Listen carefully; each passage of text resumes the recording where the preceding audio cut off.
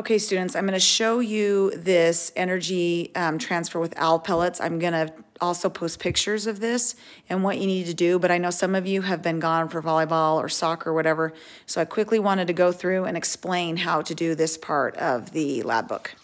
Okay, so here we have um, some mock data. I just made up that this uh, owl pellet had two mice, one mole, one shrew, and one bird, no rats. So when I did the math, okay, it told me how many it eats per day. You just multiply this number times two and a half, and then you're gonna multiply those by 365, okay? I kind of changed what I wanted to do here. I wanted to do more animals, so that would be the number there. Okay, then here it says, draw the shape that most biology textbooks use to illustrate food pyramids. So here's what most biology textbooks would show, something like that. Okay, and then it tells you up here, sorry, on number two, it tells you to create a two-level numbers pyramid. So let me show you what I did here. Again, this will be on, on the pictures, but um, there's only one owl. And there was, oh, I changed the number. There's really 4,000, 4,562, okay, of the primary consumers. So we're just showing these two levels of the um, of the food pyramid. We didn't show the, the producers, which would be down here. Okay, and we notice that at least 90% of energy is lost here. But that's not exactly coming out to be that with the numbers. So we're gonna do, um, in the bottom, they're gonna have you do that with um, kilograms, with biomass or biota. Okay, so it says, how is the pyramid you drew different? So how is this pyramid different from this pyramid. And the way that they're different is the one we drew on page 64 shows energy transfer. I didn't spell that right, transfer. And the one right here does not. Okay, this just shows a general idea, but the other one shows more of a, a larger energy transfer.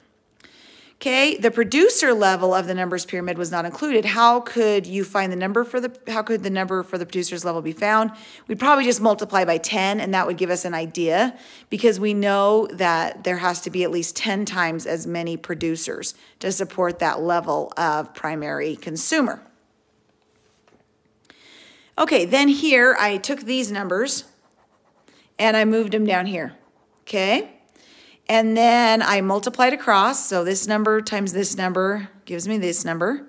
And then I added those up. Again, I kind of changed the numbers I wanted to use, but this gave me a total kilogram mass of 109 uh, kilograms of the prey. Prey, when they're talking about prey in this, they're talking about the mice and the voles and the rats and the birds, okay? So that's giving me a total of 109 kilograms of the prey, those primary consumers. Then they're having us multiply this times the amount of producers eaten by that prey. And this is giving us these numbers. Okay, so this times this gives us this. And then we add those up. And when we add those up, we get 27, almost 28,000 kilograms of producers. Remember, producers are trees and and shrubs and grass and berries, okay? Producers. These are things that do photosynthesis. So you can see we got 27-ish thousand compared to 100, okay? And um, compared to one owl, okay? So that's gonna give you that biomass comparison. Okay, so now it says here, we're gonna use those calculations that we just made here, and we're gonna make a biomass pyramid. Okay, and the biomass pyramid is going to be right here. Okay, and what I try to do is I try to make it to scale. so since I had 27 and a half thousand um, producers, this is producers, producers, since I had 27,000 producers, I decided to make each one of these boxes worth a 100. So I used pretty much all the boxes for producers. All of this was producers. Okay. And then I did, because this is 276 boxes-ish. 276, really it's 275 boxes. um, to represent the producers. Then I had to make, since I was doing about 100 um, kilograms per box for the primary consumers, the mice, the voles, all that, I just did one box. And then for the owl, there's only one owl. And so I just did one little tiny itty bitty tenth of or hundredth of a box. okay, so I did a hundredth of a box. So you can see there's 27,000 represented here, 100 represented here, and one represented here. So that kind of gives you an idea. It's not perfect, but it kind of gives you an idea of the scale of change from each level of consumer from the producers. Okay, then going to the questions. It says, does the shape of the pyramid illustrate the concept of ecological efficiency of 10%? Yes, it's actually in this situation worse than 10%, right? We're seeing a bigger change than 10%, but it's at least showing that 90% or more of the energy is just being lost to heat or entropy. Okay, the next question. Which of these two pyramids better represents this concept? Well, they're both pretty good. Um, the, the second one shows a pretty good ratio. If you look here, okay, we're looking at a pretty good ratio. We're doing 100 to 1. It really should be like 100 to 10, right? So this is a fairly close ratio of the 10% uh, rule. This is way big, right, compared to that. But the whole idea that we're get, trying to get you to see from this is it takes a lot of producers to support the primary consumers. It takes a lot of primary consumers to support the secondary consumer. And that loss of heat is at least 90%. So hopefully those are getting you to visually see that. And please remember that 10% rule. Okay, so I wrote the second one shows a good ratio of primary consumers to secondary consumers with at least 90% lost of energy. Okay, what is the relationship between the mass of the prey and the mass of the producers it eats? It takes 253 times its own mass to feed one of the prey. Okay, so that's kind of showing you that difference between that, uh, that uh, producer level this producer level here up into the primary consumer or prey level, okay? This is a huge thing. It takes 253 times its own mass to feed one of its prey. So um, yeah, there's a huge, as far as biomass, there's a huge change. Okay, the next question says, would the mass of producers consumed increase or decrease as the pellet collection location goes from the equator towards the poles? So you just have to remember that there's a lot more production that happens closer to the poles. The weather and the conditions are generally just better. And so at the equator, there's overall, is overall the best location for the growth of producers. So if you're at the, um, at your, if you're at the equator, you're gonna have more producers. The further up you go, I mean, think about the tundra, right, in northern Canada. We're looking at very low productivity. So we're gonna see fewer fewer producers there. Okay, so then it asks you to read through all of this and it asks you to make a food web. So my food web is not fantastic, but I can show you kind of what I did to give you an idea. Okay, one thing I wanted to point out to you that on the food web, the energy arrows have to go from the consumed, from the prey, to the consumer or predator. So a rat will eat the insects, so we're putting the arrows from the insects to the rat because the arrow shows energy transfer. Okay, the worms are being, being eaten by the shrew. So we make sure the arrow is that way. I actually, at the class I took this summer, they said that was one of the number one problems they've seen on the AP test is students didn't know which way the arrows went on food webs. okay, so make sure your arrows go the right way. If an owl eats a mouse, the energy goes from the mouse to the owl. All right. So we drew, I drew that lovely, lovely food web. I'm such an artist. you guys can do better, I'm sure. Okay. Um, make sure you read all this, okay, and make sure that you um, know all the things. It talks about how the arrow should go from the food to the um, predator or feeder. Okay, make the, sure the owl's the top consumer, label prey, okay, um, label consumers eaten by the prey, just do all this. I, I kind of rushed through mine a little bit because I want to make this video tonight. So make sure you're doing all these things, okay? Why are the arrows pointing toward the top of the food web? This is the direction the energy flows through a food web from producer to prey to predator. Okay, I probably should have added producer, but technically producer is prey, right? It's being eaten. How does this relate to the shape of either pyramid? There are fewer organisms on top of the food web, just like a pyramid. Okay? What happens to the number of producers if there is plenty of sunshine and rain? Okay, producers can grow very fast uh, when there's plenty of sunshine and rain. That gives us fewer limiting factors because a lot of times rain can be a limiting factor. So the more rain and sunshine it gets, then typically the producers do better. Uh, what therefore happens to the number of consumers if there's plenty of sunshine and rain? If there's plenty of sunshine and rain to the consumer, there's plenty of producers, plants, and so they can have plenty of food and grow and reproduce well. Okay, does the change, and this was a typo. I don't know why we have that typo there, but what they mean is the change in 15 and 16. So does the change in numbers in 15 and 16 occur at the same time? Why? And we haven't talked about this yet because we're going to talk about this a lot. We talk about population growth, but this is a good time to kind of think about this. But no, typically a consumer's population growth lags behind the prey's growth. So typically, if the plants do well, it takes a month or two, or sometimes even a year for the plants to do well, and then you see a growth in the population of things that eat the plants. If you see um, a really big mouse population one year, then typically lagging behind either months or years, you're going to see a really good growth of the owl population because they have plenty of food to eat. Okay, so typically um, we see that lag behind. 18. What happens to the number of owls if there's plenty of sunshine and rain?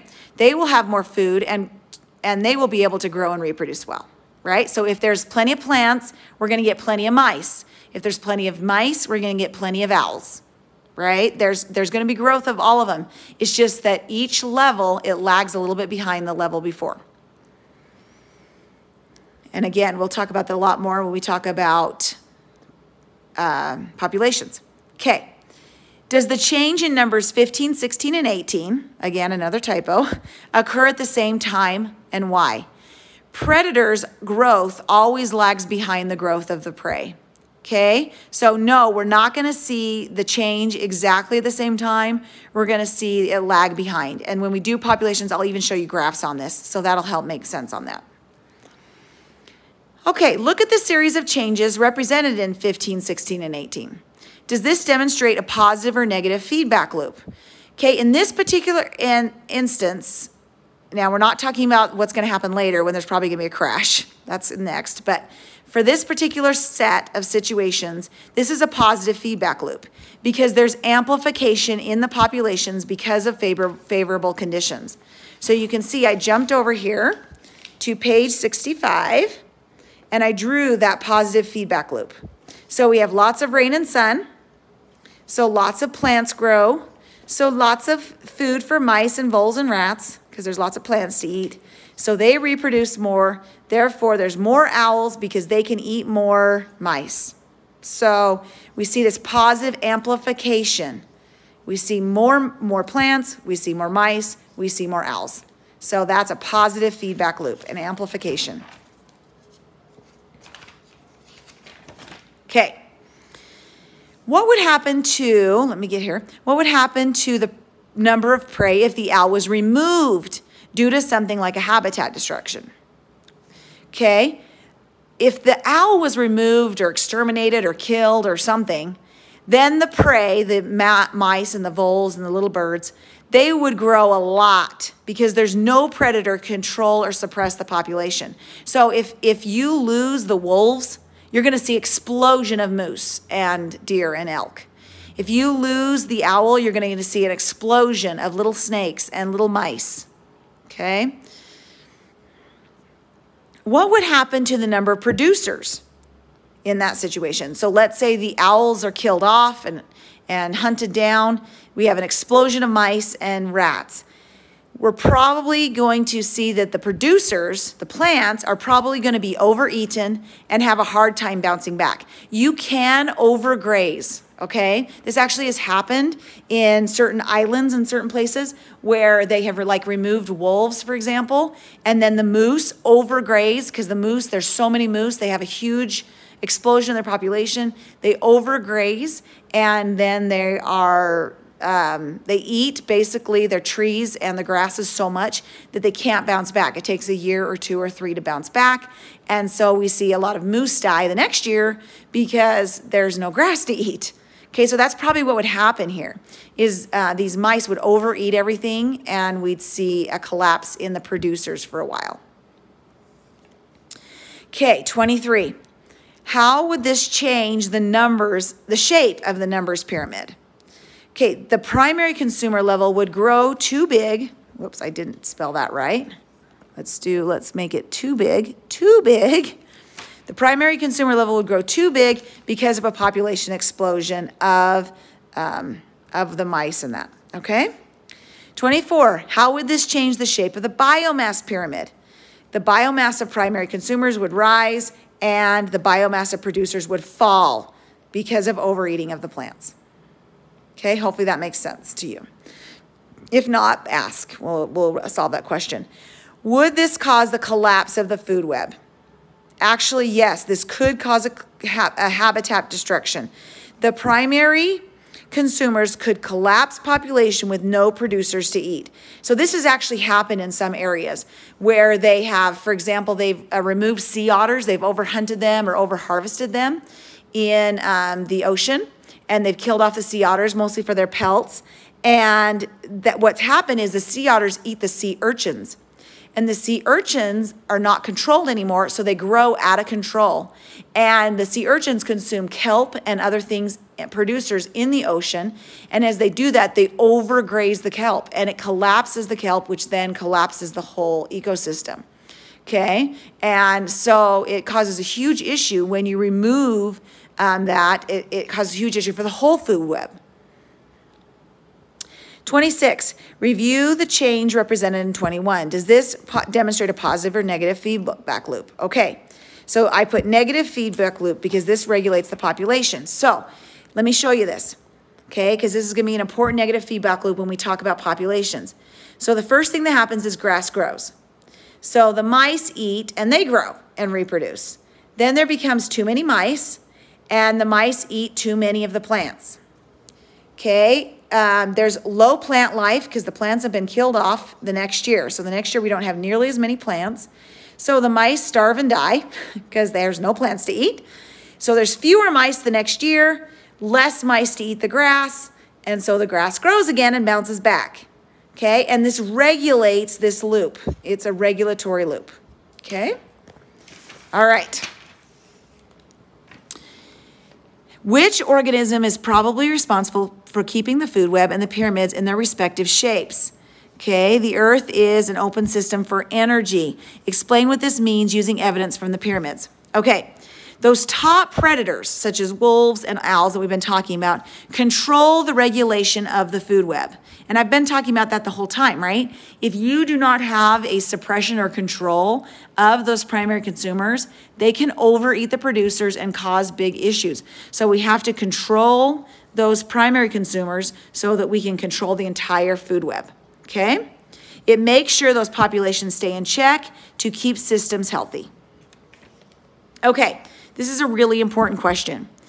How do your pyramids and food webs demonstrate the first and second laws of thermodynamics in this particular ecosystem? Okay, I actually put these in the wrong order because I mixed them up. So let's go to the first law first. The first law is entropy. Okay, I mean, not entropy. Energy and matter cannot be created or destroyed. Geez, I did it again. The first law is matter and energy cannot be created or destroyed. Okay? So, think about it. The light and the sun um, is made for, through photosynthesis into producers. Producers transfer energy into consumers. Consumer transfer energy into secondary consumers, etc. So there is energy transfer. all through it. It's there's it's not created or destroyed, but energy simply transfers through the system. Okay? The second law is entropy. Okay? And entropy means that most of your energy that is in a system is going to go towards entropy, towards disorder, towards heat. Right? Hopefully you learned that from physical science, hopefully in eighth grade. okay? But um, the default is to go towards disorder or entropy or heat. Heat is the most um, unorganized type of energy. So at each level of consuming, there is 90% of energy lost. This coincides with the principle of entropy. Okay, so if we go here and you look at this little um, uh, pyramid that we created here, going from the mice and the voles and everything, we're going to see at least 50% of energy lost to heat and only 10%, sometimes even less, of that energy transferred to the next level. Okay, that coincides. This is the law, first law of, uh, second law, my goodness, I keep saying it wrong. The second law of thermodynamics is that most energy is going to be lost to heat. Okay. And so, in a way, that's good for us, right? We want to stay warm. We're warm blooded animals. And so, um, it's not all bad, but it does mean that the higher up on the food pyramid you eat, the uh, more food you have to eat because uh, we lose so much energy. Okay, so here are the conclusion questions, these four here. And I, this is more your opinion. What did you learn about food webs and pyramids? So just write something you learned there okay? So you can write whatever you want right here. What did you learn about the flow of energy and cycling of matter? Well, hopefully you learned that energy flows through ecosystems, but you'll also learn that a lot is lost to energy. Here, why do chemists and physicists say that energy is never destroyed or only transformed to another form? Okay, hopefully you can talk about that, that energy is transformed.